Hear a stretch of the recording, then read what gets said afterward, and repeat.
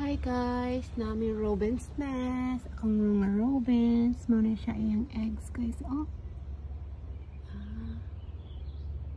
Na ay four kabuk eggs.